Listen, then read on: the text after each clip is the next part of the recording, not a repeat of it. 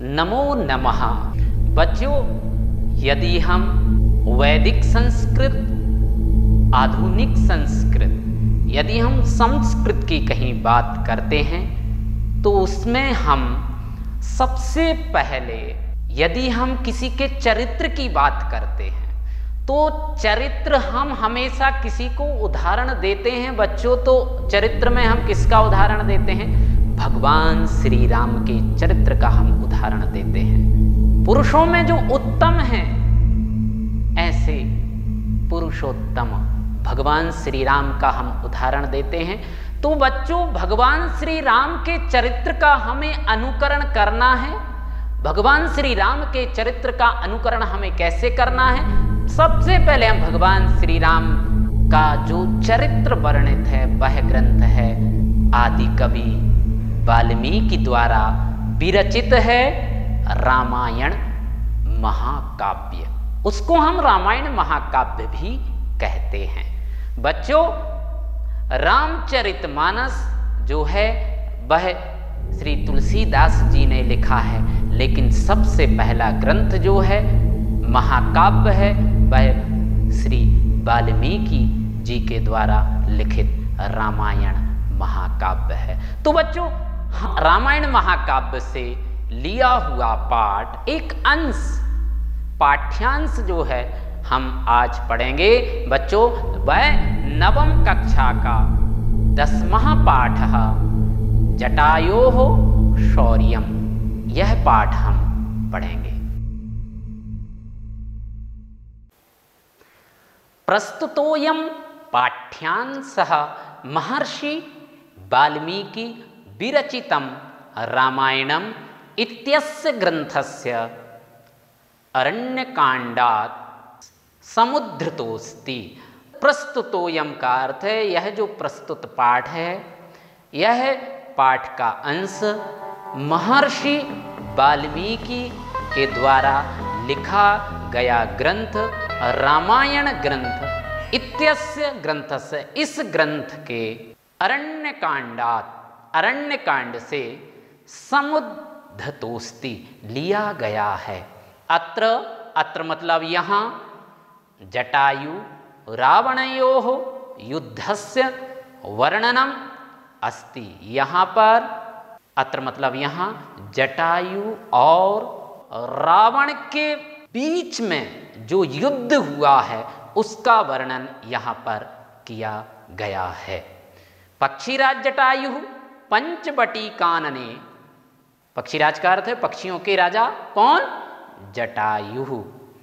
पंचबटी कानने। कानने मतलब वन में। पंचबटी में बिलपत्नियाँ जो बिलाप करती हैं, कौन? सीताया करुण क्रंदनम श्रुत्वा, तत्र गच्छति।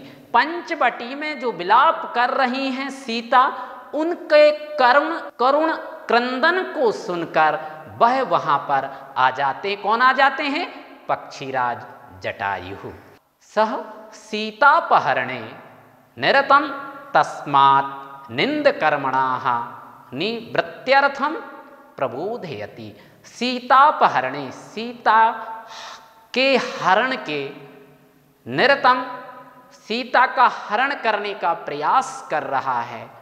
प्रयास क्या?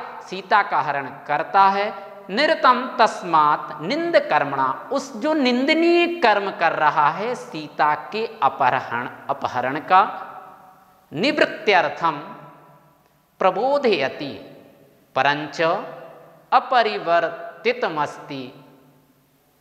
अपरिवर्त बुद्धि वाला रावण, जिसके अपार बुद्धि है, ऐसा रावण रावण तमेव अपसारयति। ततः पक्षीराज तुंडेन जब सीता को बलात् ले जाता है या सीता का अपहरण करता है, तब पक्षीराज तुंडेन तुंडेन का शाब्दिक अर्थ होता है चौंच के द्वारा। पादाभ्यांच पंजों से प्रहरती। प्रहरती के मतलब प्रहार करते हैं। स्वनखई ही अपने नाखूनों से। रावणस्य गात्राणी विदारयति। अपने नाखूनों से, अपनी चौंच से रावण को घाव कर दिए हैं। स्वनखई ही नाखूनों से। रावण से गात्राणी विदारयति। रावण के शरीर को, शरीर में घाव कर देते एवंच बहुविधाक्रमेण बहुत प्रकार से आक्रमण करके, रावण भग्न धनवाह रावण भग्न धनवा मतलब टूटे धनुष वाला, रावण कैसे हो जाता है? जो उसके धनुष रहता है, वह टूट जाता हत सारथी ही मरे हुए घोड़ों वाला। सारथी विहीन जिसका रथ है हत सारथी हतास्वाह व्रणी बोलते हैं जिसके रथ के घोड़े, बिना रथ वाला और बिना घोड़े वाला, हतस्वाहा, जिन्हें अश्वों को मार दिया गया व्रणी, घावों वाला, व्रणी का शाब्दिक अर्थ है, घावों वाला विरथस्चा बिना रथ का हो जाता है बीपसर्ग पूर्वक बीपसर्ग लगा है वीरथश्च बिना रथ वाला सन जाता हो जाता है। खगाधिपस्य खगाधिपस्य का अर्थ होता है, खग मतलब पक्षी। पक्षियों के राजा, उन्हें पक्षीराज कहा है। किसको? जटायु को। पुनः पुनः अतिशय प्रहारी वह बार बार अत्यधिक प्रहारों से वृणी घावों वाला हो जाता है कौन? रावण। किसके प्रहार से? जटायु के चोंच के प्रहार से, नखों के प्रहार से रावण व्रणी घावों वाला हो जाता है। महाबली रावणाहा, मूर्छितो भवती। महाबली रावण मूर्छित हो जाता है। बच्चों, अब हम श्लोक को पद को देखेंगे। सा तदा करुणा वाचो बिलपंती सुदुखिता। वनस्पति गतम गृद्धम ददर्शायत लोचना। बड़ा सुंदर श्लोक है। सा तदा। सा मतलब वह। कौन? सीता। तब वह सीता, करुणो वाचा, करुणामयी वाणी में, करुणामयी वाणी में बिलपंती, बिलाप करती हुई, सुदुखिता अत्यंत दुखी हो रही है। वनस्पति गतम वनस्पति मतलब वृक्ष। वृक्ष पर बैठे हुए कौन? गृद्धम। गीध। गिद्ध। ददर्शायत लोचना। भाई, देख, ददर्श मतलब देखना। बड़ी बड़ी आँखों वाली सीता को गृद्ध ने देखा। बच्चों, इसका भावार्थ है, तब अत्यंत दुखी करुणामयी वाणी से विलाप करती हुई बड़ी बड़ी आँखों वाली उसने, किसने? सीता ने वृक्ष पर बैठे हुए गिद्ध को देखा। अग्रिम श्लोक, जटायो पश्य मामार्य, ह्रियमाणा मनाथवत अनेन राक्षसेन्द्रेण। करुणम पाप कर्मणा। बड़ा सुंदर श्लोक है। जटायु पश्य मामार्य। सीता बोलती है, हे आदरणीय जटायु, ह्रियमाणा मना, थवत, अपहरण की जाती हुई अनाथ के समान। अनेन राक्षसेन्द्रेणा, अनेन मतलब इसके द्वारा किसके द्वारा? रावण के द्वारा। राक्षसेंद्रेणा राक्षस राज के द्वारा। राक्षसों के राजा, रावण के द्वारा। करुणम पाप कर्मणा। करुण मतलब दुखी को। पाप कर्मणा, ये जो पाप कर्म कर रहा है रावण तो बोलते हैं, इसका भावार्थ है। जटायु पश्चिमा मारिया, हे आदरणीय जटायु इस पाप कर्म करने वाले राक्षस राज रावण के द्वारा अनाथ के समान अपहरण की जाती हुई मुझ दुखी को देखो। सीता बड़े करुण विलाप कर रही है, जटायु से कह रही तम शब्द मव सुप्तस्तु, जटायुश्च सुस्रवा निरीक्ष रावणम क्षिप्रम वैदेही चदर्श तम शब्द शब्दमपसुप्तस्तु सोए हुए। कौन? जटायु रथ सुश्रवा, सुनो। अरे जटायु, सुनो। निरीक्ष देखकर रावणम क्षिप्रम शीघ्र ही वैदेही सीता को च ददर्श देखा जटायु, जो कि सोए हुए थे, उन्होंने जैसे ही, हे आदरणीय जटायु, जो पिछले श्लोक में उन्होंने बोला, हे आदरणीय जटायु, मुझे देखो, मैं अनाथ हूँ। तब वह कहते हैं, सोए हुए जटायु, वाणी को सुना। बड़ा, क्या सुना? क्षिप्रम शीघ्र ही वैदेही सीता को ददर्श मतलब उन्होंने देखा, सह मतलब वह क्या इसका हिंदी में भावार्थ है बच्चों? इसके बाद उस सोए हुए जटायु ने उस शब्द को सुना। और रावण को देखकर शीघ्र ही सीता को देखा। अग्रिम श्लोक में बताते हैं, ततः पर्वत श्रृंगाभस्तीक्षण तुंड खगोत्तम। वनस्पति गतः श्रीमान व्याजहार शुभाम गिरीम बड़ा सुंदर। ततः पर्वत श्रृंगाभस्तीक्ष्ण तुंड पर्वत, उसके बाद, तथा मतलब उसके बाद पर्वत श्रृंगा भस बोलती, पर्वत के शिखर के समान शोभा वाले, जिस तरह पर्वत की शोभा होती, उसी तरह जो विशाल पर्वत, उसी तरह विशाल काय पक्षीराज। बोलते हैं, यह विशेषण है, पर्वत के शिखर के समान शोभा वाले पैनी चौंच वाले, कौन? खगोत्तमा पक्षीराज। वनस्पति गतः श्रीमान। ब्याजहार वनस्पति गता मतलब वृक्ष पर स्थित। श्रीमान व्याजहार। शोभा से युक्त शुभाम गिरम वाणी को। इसका भावार्थ है बच्चों, इसके पश्चात वृक्ष पर स्थित पर्वत के शिखर के समान शोभा वाले तीक्ष्ण तीक्ष्ण का अर्थ पैनी चोंच वाले, जिनकी पैनी चोंच है कौन? गृद्ध पैनी चौंच वाले गृद्ध शोभा से युक्त पक्षियों, में श्रेष्ठ पक्षियों के जो राजा हैं, पक्षियों में जो श्रेष्ठ पक्षी हैं, सुंदर वाणी में कहा। देखिए पक्षीराज ने क्या कहा? अग्रिम श्लोक बड़ा ही सुंदर पद है। निवर्तय मतीम नीचाम परदारा भी मर्शनाथ ना तत्समाचरित धीरो यत परोश बिगर बड़ा सुंदर। निवर्तयत। रोको मना करो। निवर्त मतीन नीचाम नीच बुद्धि को। कौन नीच बुद्धि? रावण। परदारा भी अर्थ पराई स्त्री के स्पर्श से। ना तत्समाचरे धीरो ना तत्समाचरे मतलब आचरण करने वाले धीरो। मतलब बुद्धिमान। यत परोश यत परोश मतलब दूसरे लोग। परश, इसकी बिगर है निंदा करें। दूसरे लोग इसकी निंदा करें। इसका बड़ा ही सुंदर भावार्थ है। स्पर्श, नीच बुद्धि को पराई स्त्री के स्पर्श से रोका।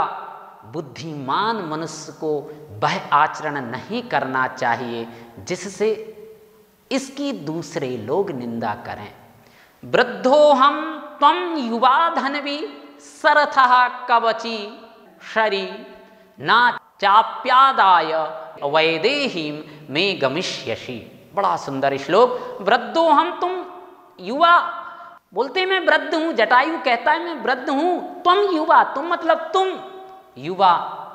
धनवी, धनुर्धर हो सरथा रथ के साथ हो, कवची कवच धारण किए हुए, सरी बाणी बाण को लिए हुए ना चाप्यादाय, लेकर ना चाप्यादाय मतलब लेकर कुशली वैदेही में गमिष्यसी।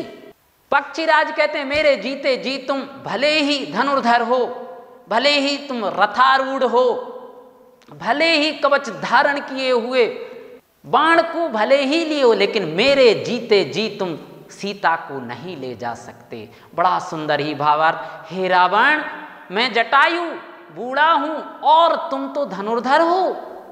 रथ के साथ हो, कवच धारण किए हुए हो, बाण को लिए हुए हो, और जवान हो, फिर भी मेरे जीवित रहते, तुम सीता को लेकर सकुशल नहीं जा सकते। ऐसा सुंदर मार्मिक चित्रण आदि कवि वाल्मीकि ने श्लोक में किया है किसकिदा कांड के श्लोक में, अग्रिम श्लोक है, तस्य तीक्ष्ण नखाभ्याम तू चरणाभ्याम महाबला चकार गात्रे व्रणान पतग सत्तमहा बोलते हैं तत्स्य तीक्ष्ण नखाभ्याम तीक्ष्ण नाखूनों वाले कौन? पक्षीराज। तु चरणाभ्याम महाबला, महान बलशाली। चकार कर दिया। महा उसको तीक्ष्ण नाखूनों से हमला कर रहे हैं, उसको चोट पहुँचा रहे हैं। चकार कर दिया। बहुधा बहुत से गात्रे मतलब शरीर पर व्रणान। व्रणान का अर्थ है घाव। घावों को पतग सत्तमा, पक्षियों में श्रेष्ठ जटायु ने रावण को शरीर में घाव कर दिए, नाखूनों से, पंजों से पक्षीराज ने उनके शरीर में, रावण के शरीर में घाव कर दिए हैं। बच्चों, इसका हिंदी भावार्थ है, महान बलशाली पक्षियों में श्रेष्ठ कौन? जटायु ने तीक्ष्ण पैने, नाखूनों वाले, पंजों से उस रावण के शरीर पर बहुत से घावों को कर दिया है। अग्रिम श्लोक तोष शशरम चापम मुक्तामणि विभूषितम चरणाभ्याम महातेजा भवज्जास महद बनु। बोलते हैं, तोष ससरम बाणों से युक्त चापम धनुष को मुक्तामणि विभूषितम मोतियों और मणियों से जो सुसज्जित है चरणाभ्याम पंजों से, महातेजा, महान तेजस्वी, भवज्जास, तोड़ दिया। महत धनु, उसके धनुष को बड़ी चौंच वाले, जटायु ने अपनी चौंच से, अपने नाखूनों से उसके धनुष को तोड़ दिया। बड़ा ही सुंदर भावार्थ है। महान तेजस्वी, बड़ी चोंच वाले जटायु ने अपने पंजों से इसके मोतियों और मणियों से सुसज्जित बाणों से युक्त धनुष को तोड़ दिया। साभग्न धनवा विरथो हतास्वो हतसारथि, तलनाभि जघानाशु। जटायु क्रोध मूर्छित। बड़ा ही सुंदर पद है बच्चों। सावग्न धनवा। उसके चौंच के प्रहार से उसका धनुष टूट जाता है। रावण का। विरथो, रथ के विहीन हो जाता है। वीरथो, बिना रथ के। रथ से विहीन हो जाता है। हताश वो मारे गए घोड़ों वाला। हत अश्वहा। हत का मतलब मारना, अश्वा मतलब घोड़ों। जिसने मारे गए घोड़ों वाला हत सारथी मारे गए सारथी वाला जिसके सारथी भी मर गए।